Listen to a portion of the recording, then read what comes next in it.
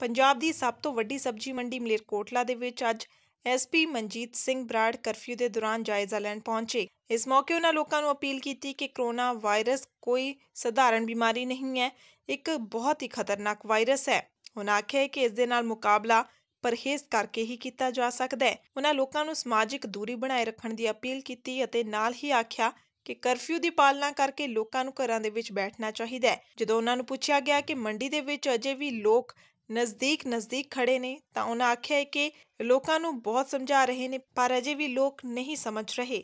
ਨਾਲ ਹੀ ਉਹਨਾਂ ਆਖਿਆ ਕਿ ਕਰਫਿਊ ਦੀ ਉਲੰਘਣਾ ਕਰਨ ਵਾਲਿਆਂ ਖਿਲਾਫ ਹੁਣ ਪੂਰੀ ਤਰ੍ਹਾਂ ਸਖਤੀ ਵਰਤੀ ਜਾਵੇਗੀ ਤੇ ਲੋਕਾਂ ਨੂੰ ਚਾਹੀਦਾ ਹੈ ਕਿ ਉਹ ਪੁਲਿਸ ਪ੍ਰਸ਼ਾਸਨ ਨੂੰ ਸਹਿਯੋਗ ਕਰਨ।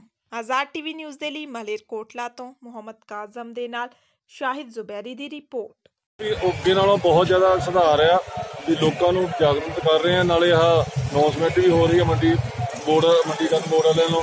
ਉਹਨਾਂ ਮੁਲਾਜ਼ਮ ਵੀ ਆ ਕਿ ਇੱਥੇ ਪਰਚੂਨ ਨਹੀਂ ਵੇਚਣੀ। ਮੰਡੀ ਇੱਥੋਂ ਪਰਚੇਜ ਕਿਉਂਕਿ ਸਾਰੇ ਪੰਜਾਬ ਦੀ ਮੰਡੀ ਇੱਥੋਂ ਵੱਡੀ ਮੰਡੀ ਆ ਇੱਥੋਂ ਸਮਾਨ ਲੈ ਕੇ ਜਾਂਦੇ ਆ। ਤੇ- ਨਾਲੇ ਛੋਟੀਆਂ ਦੁਕਾਨਾਂ ਵਾਲੇ ਰੇਹੜੀਆਂ ਵਾਲੇ ਵੀ ਜਿਹੜੇ ਆ ਮਲੌਦ ਵਾਲੇ ਡੇਲੋਂ ਵਾਲੇ ਆਪਣੇ ਸ਼ੇਰਪੁਰ ਵਾਲੇ ਧੂਰੀ ਵਾਲੇ ਕਾਫੀ ਦੂਰ ਤੱਕ ਇਹ ਮਾਲ ਇੱਥੋਂ ਲੈ ਕੇ ਜਾਂਦੇ ਆ। ਸਰ ਜਿਹੜੀ ਇੰਨੀ ਗੈਦਰਿੰਗ ਹੋ ਰਹੀ ਉਹ ਗਜ਼ ਗਜ਼ ਦਾ ਜਿਹੜਾ ਫਾਸਲਾ ਦੱਸਿਆ ਗਿਆ ਇਹਦੇ ਨਾਲ ਤਾਂ ਬਿਮਾਰੀ ਦਾ ਕਿੱਦਾਂ ਖਤਰਾ ਹੈ? ਜਿਹੜੀ ਇੰਨੀ ਗੈਦਰਿੰਗ ਹੋ ਰਹੀ ਗੈਦਰਿੰਗ ਨੂੰ ਬਹੁਤ ਜ਼ਿਆਦਾ ਸਮਝਾਈ ਜਾਈਦਾ ਪਰ ਫਿਰ ਵੀ ਲੋਕੀ ਕਰਦੇ ਆ ਲੋਕਾਂ ਨੂੰ ਅਵੇਅਰਨੈਸ ਕਰੀ ਜਾਈਦਾ ਸਪੀਕਰ ਦੀ ਬੋਲੀ ਦਾ ਅਸੀਂ ਵੀ ਪਿਆਰ ਨਾਲ ਉਹਨੂੰ ਕਹਿੰਦੇ ਆ।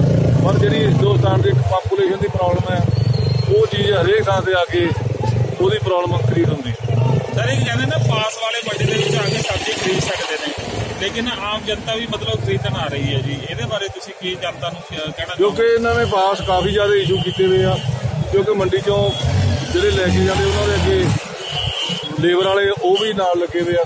ਉਹਦੇ ਵਿੱਚ ਦੂਜੇ ਬੰਦੇ ਵੀ ਜਿਨ੍ਹਾਂ ਨੂੰ 20 20 30 ਸਾਲ ਹੋ ਗਏ ਲੈ ਕੇ ਜਾਂਦਿਆਂ ਨੂੰ ਉਹਨਾਂ ਵਿੱਚੋਂ ਦੋ ਚਾਰ ਬੰਦੇ ਵਿੱਚ ਆ ਵੀ ਜਾਂਦੇ ਆ। ਸਰ ਤੁਹਾਨੂੰ ਇਹ ਲੱਗਦਾ ਵੀ ਪਾਸਾਂ ਦਾ ਮਿਸਯੂਜ਼ ਵੀ ਹੁੰਦਾ ਕੁਝ ਪਾਸਾਂ ਦਾ ਮਿਸਯੂਜ਼ ਤਾਂ ਲੋਕੀ ਕਰ ਵੀ ਜਾਂਦੇ ਆ ਪਰ ਫਿਰ ਵੀ ਅਸੀਂ ਉਹਨਾਂ ਨੂੰ ਅਵੇਅਰ ਕਰਦੇ ਆ ਕਿ ਇੱਕ ਦੂਜੇ ਨੂੰ ਟੱਚ ਨਾ ਹੋਣ ਬੰਦੇ।